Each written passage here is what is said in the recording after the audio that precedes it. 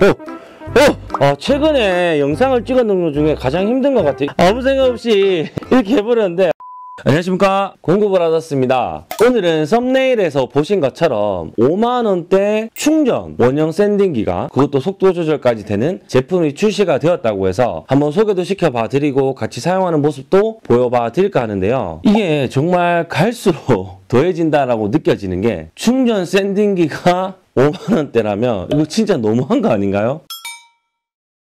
일단은 하이코라는 브랜드에서 출시가 되었습니다. 모델은 HOS 18N이라는 모델로 출시가 되었고요. 이렇게 종이 케이스에 들어있고 배터리랑 충전기는 포함이 되어 있지 않은 bare tool 몸체로만 출시가 되었습니다. 구성품은 이렇게 보시면 충전 샌딩기 본체 그리고 dust bag 먼지를 모아주는 dust bag 사용 설명서 sanding paper가 거칠기별로 3장이 들어있습니다. 일단 기본 베이스는 DeWalt 18V 혹은 20V MAX의 배터리를 가지신 분들이 이렇게 바로 장착을 해서 사용할 수 있는 타입이고요. 이전에도 제가 하이코 제품 중에서 DeWalt 배터리를 사용해서 쓸 수 있는 전동공구 제품들을 몇 가지 보여드렸었던 적이 있습니다. 뭐 충전 집진기 혹은 충전 열풍기. 근데 이번에는 와 진짜 제대로 일을 낸 것 같아요. 지금 일단은 크기나 이 제품의 마감이나 quality가 너무 좋게 나왔습니다. 근데도 지금 금액이 5만원대라고 하면은 진짜 이 충전 샌딩기가 보통 다 10만원 중후반대에 가 있단 말이에요. bare tool 기준 몸체. 근데 이렇게 5만원대에 출시가 되었다면 DeWalt 배터리를 가지신 유저분들한테는 정말 희소식일 것 같거든요. 밀워키 충전 sanding기, 그리고 디월트 충전 sanding기, 그리고 마키다 충전 sanding기랑 직접 한번 사용을 해보고 얼마만큼의 사용 시간이 나오면 얼마만큼의 이 sanding 작업이 잘 되는지라던가 그리고 이 집진 해주는 능력 이런 부분들이 정말 궁금하더라고요. 그래서 오늘 시간에는 제가 이 네 가지 제품을 가지고 나무에 sanding paper로 갈아내는 작업도 해보고 그리고 똑같이 완충된 배터리를 꽂았을 때 사용 시간 얼마만큼 될 것인지 그리고 사용을 했을 때 소음은 어느 정도인지 이런 부분을 초점을 두고 봐주시면 좋을 것 같아요. 자 시작에 앞서서 각 제품들의 스펙을 간략하게 한번 보시면요. 일단은 sanding기 같은 경우는 회전을 하는 공구가 아니라 이 OPM, orbital 운동을 하는 기계이기 때문에 OPM이라는 게 존재하게 되는데 OPM이 밀워키가 월등하게 높았어요. 밀워키가 24,000 OPM, 디월트가 12,000 OPM, 마키다가 11,000 OPM, 하이코도 11,000 OPM이었습니다. 그리고 속도 조절 가능 여부는 밀워키는 1단부터 6단까지 조절 가능, 디월트는 1단부터 7단까지 조절 가능, 마키다는 1단부터 3단, 하이코는 1단부터 6단까지 조절이 가능하겠습니다. 그리고 모터 방식 같은 경우는 유일하게 디월트만 brushless 모터였고요. 나머지 밀워키, 마키다, 하이코 같은 경우는 카본 방식의 모터였습니다. 자, 그리고 sanding기를 사용하시는 분들께서 무게도 굉장히 중요하게 생각하실 것 같은데 자, 제가 이렇게 저울을 준비를 했고요. 각각 제품의 무게를 한번 재보겠습니다. 일단은 디월트 먼저 배터리를 제외한 몸체 무게가 보시면 지금 950g 와 스펙이랑 일치하네요. 950g이고요. 그 다음 하이코 제품은 지금 보시면 1089g 그러니까 1kg가 조금 넘는 거죠. 밀워키 제품도 한번 올려보겠습니다. 자 밀워키 제품은 1226g입니다. 마키다 제품은 1183g 가장 가벼운 제품은 디월트가 가장 가벼웠고요. 그 다음 하이코, 그 다음 마키다, 그 다음 밀워키 순입니다 그리고 이 sanding기 같은 경우는 이렇게 타원을 그리는 운동을 하는 기계인데 이 운동 거리가 존재합니다. 이 밀워키 같은 경우는 2.4mm 그리고 디월트는 2.6mm 마키다는 2.8mm 하이코는 2.4mm였습니다. 그리고 금액 같은 경우는 배터리를 포함하지 않은 bare tool 몸체만 기준으로 했을 때 밀워키가 15만원대 디월트가 14만원대 마키다가 13만원대 하이코가 5만 원대였습니다. 자 그리고 이 먼지를 모아주는 dust bag의 형태도 중요하게 생각을 하시던데요. 밀워키와 마키다 같은 경우는 이렇게 플라스틱 집진기가 들어있습니다. 플라스틱. 그리고 지금 하이코와 디월트 같은 경우는 이렇게 천으로 되는 스프링이 달려있는 집진 dust bag이 장착이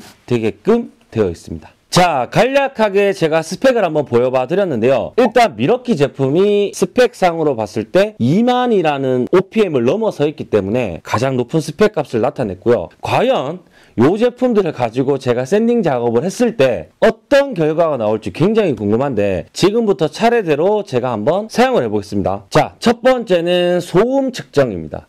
각 제품을 작동을 시켰을 때 각각의 제품에서 이 발생되는 소음의 크기가 어느 정도인가를 테스트 해 볼 건데요. 자, 일단 마키다 먼저 가보겠습니다. 기준은 가장 높은 속도에서의 소음입니다. 자, 지금 마키다 같은 경우는 99.9에서 100까지 정도 나왔습니다. 이 소음이. 자, 바로 이어서 디월트로 가볼게요. 디월트. 디월트도 7단으로 가장 높은 속도로 제가 세팅을 했고요. 디월트 가보겠습니다.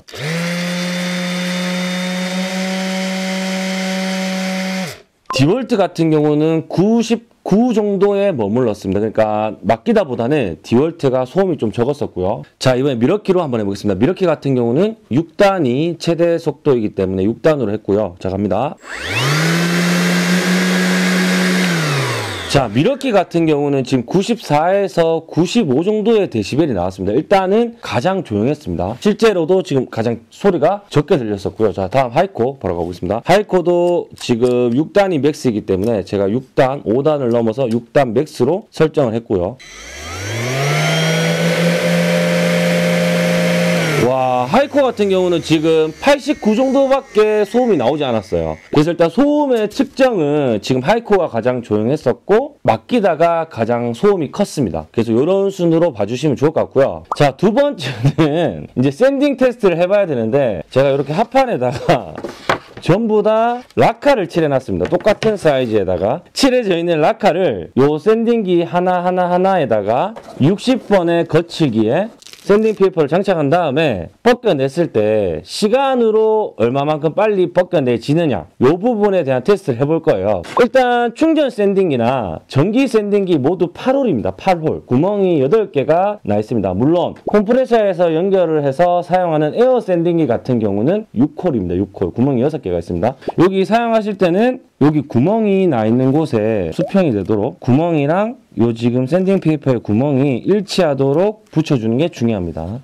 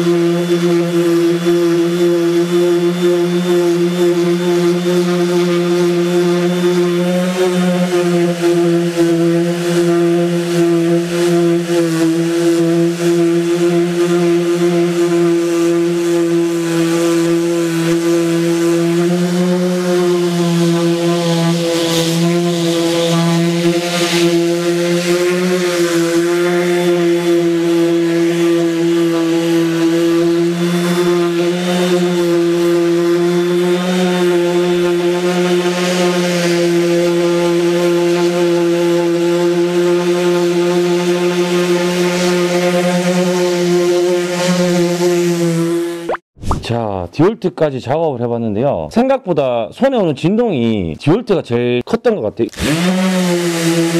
자, 정배적으로 하면 미러키 같은 경우는 굉장히 부드러웠었던 것 같고 자, 이렇게 나무가 안 움직이죠, 지금 생각보다. 아까 전에 할것 같은 경우도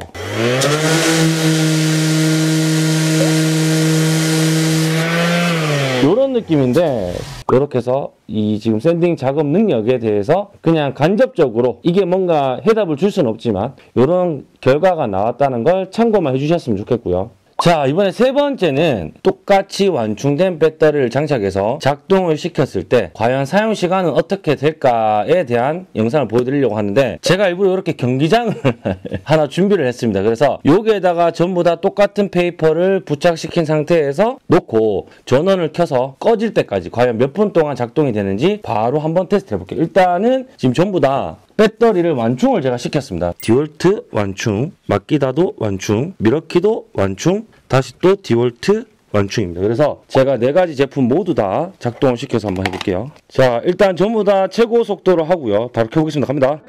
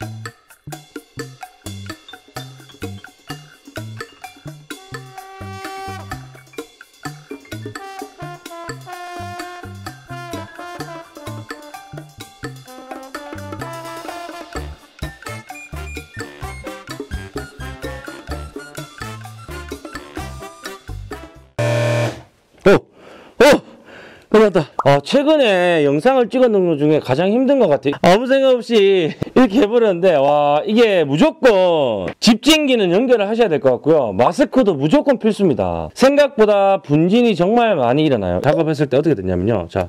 어! 우리 책상 파버렸다. 자, 하이코 같은 경우는 일단 이만큼 파고 들어갔고요. 일단은 제가 전부 다 이 지금 60번에 샌딩 패드를 장착을 해서 진짜 부하를 주면서 작업하는 거를 표현한 거기 때문에 자, 그다음 밀워키 같은 경우도 거의 나무를 지금 다 뚫었죠. 지금 보시면. 마키다 같은 경우는 한 요 정도. 디월트도 거의 뭐 요 위에 붙어 있는 나무 한 장은 다 벗겨냈는 다 정도고요. 자, 일단 요렇게 아 진짜 힘들다. 자 일단 이렇게 해가지고 사용 시간을 테스트를 해봤는데요. 미러키가 35분 43초 동안 사용이 가능했습니다. 연속 사용 시간 부하를 주면서 연속 사용 시간. 그 다음에 두 번째로 빨리 꺼졌는 게 막기다 48분을 사용할 수가 있었고요. 그 다음에 하이코 49분 15초 동안 사용 가능했는데 야 디월트 이건 진짜 브루시리스라서 그런지 정말 사용할 수 있는 시간이 길었습니다. 1시간 2분으로 사용할 수 있는 시간은 디월트가 가장 길었습니다. 자, 제가 직접 이렇게 다 사용을 해보고 작동을 시켜보니까 정확하게 조금 느낌이 옵니다. 일단, 진동. 진동은 마키다 제품이 가장 적었어요. 이렇게 손을 얹어 봤을 때. 똑같이 부하를 받고 있는 전제하에서 진동이 마키다가 가장 적었고 그 다음이 미러키랑 이 하이코 제품 디월트가 진동은 가장 심했습니다. 이 춤도 많이 추고 손이 닿았을 때 느껴지는 이 진동이 가장 셌어요. 그리고 두 번째 집진. 제가 여기 지금 틀 안에 넣기 위해서 뒤에 집진 커버는 다 분리한 상태에서 작업을 시켰지만 집진도 정확하게 말씀드릴 수가 있는 게 하이코랑 마키다 제품이 집진이 가장 잘 됐어요. 만약에 통을 달았다면 통 안에 가장 많은 나무 가루가 들어갔을 겁니다. 왜냐하면 제가 작업하는 내내 이 두 가지 제품은 그나마 이 나무 가루가 생각이 생기는 게 적었는데 요 지금 두 가지 제품 같은 경우는 막 날아가는 게 보일 정도였거든요. 그래서 지금 감독님께서 청소기를 양쪽에 계속 대주고 계셨는데 집진은 하이코 제품이랑 마키다 제품이 가장 유리했다. 집진통을 달았을 때 집진통으로 모아주는 요 행위에 대해서는 사용하고 났을 때 샌딩기들이 다 이런 형태를 띠고 있습니다. 진짜 톱밥이 나무 가루가 와, 분진 가루가 정말 많이 먹게 됩니다. 근데 이 상태로 보관을 하시면 절대 안 됩니다. 사용하시면서 중간에 송풍기나 에어건으로 꼭 불어주시면서 사용을 해주셔야 이 안쪽에 먼지가 들어가서 고장나는 우려를 또 막을 수가 있으니까 꼭 사용하실 때는 수시로 에어건이나 송풍기로 불어줘서 먼지를 불어낸 다음에 사용을 해주세요. 그게 너무 중요합니다. 지금 사용을 해보니까. 자, 이렇게 해서 오늘은 하이코에서 새롭게 출시된 충전 샌딩기를 제가 직접 한번 사용해보고 여러 가지 경우로 테스트도 해봤습니다. 최근에 제가 영상을 찍으면서 느꼈던 제품들 중에서 가장 가성비가 괜찮지 않나. 지금 사용되어지는 시간,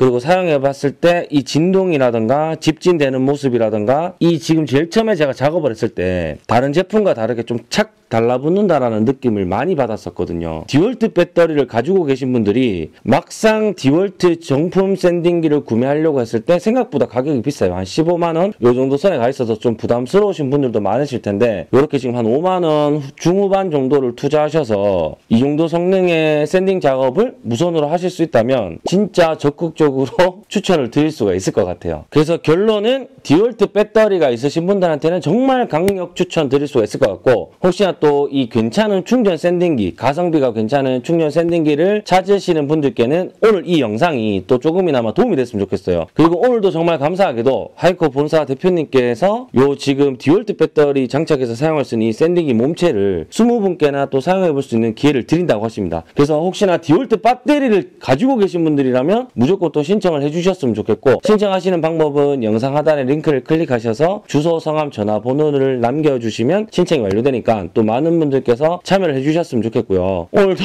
이렇게 정말 험난했지만 저 영상 조금이나마 도움이 되셨으면 좋겠고 다음 편에 또 좋은 영상으로 찾아뵙는 공구브라더스가 되겠습니다. 감사합니다.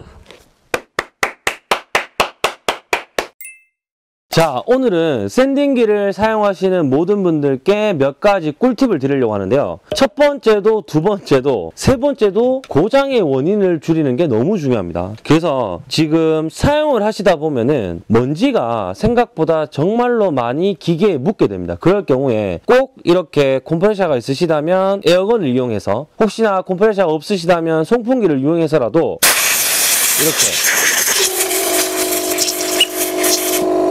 먼지를 불어내주는 행위가 너무나도 중요합니다. 자, 두 번째는 이렇게 충전 샌딩기나 유선 샌딩기 원형을 보시면 이렇게 구멍이 8개가 나 있습니다. 여기에 내가 사용하려고 하는 페이퍼의 구멍이랑 수평을 이루게 해서 이렇게 딱 구멍이 딱 정확하게 관통되게 붙여야지만 작업을 할 때 생기는 분진이 이 구멍 안으로 들어가서 여기 dust bag에 모이게 돼 있거든요. 이거를 만약에 그냥 무심코 이렇게 구멍이랑 일치시키지 않고 이런 식으로 붙여버리게 되면은 작업은 됩니다. 근데 어떠한 일이 생기게 되냐면은 작업을 하면서 생기는 분진 가루와 이 페이퍼랑 같이 맞물려서 돌다 보면은 나무에 똑같이 페이퍼 작업을 했을 때 결과물이 이상적으로 나오지 않을 확률이 높아요. 이거를 부착하실 때는 이렇게 구멍에 일치하게끔 부착을 시키셔야 된다. 매번 사용하시는 분들은 이렇게 붙이는 게 너무 잘 하실 거예요. 근데 저도 지금 초보이다 보니까 생각보다 이렇게 뗐다가 다시 이렇게 수평을 맞춰서 붙이기 생각보다 어렵더라고요. 이럴 때 꿀팁이 있습니다. 자, 이렇게 나무젓가락 뒷부분을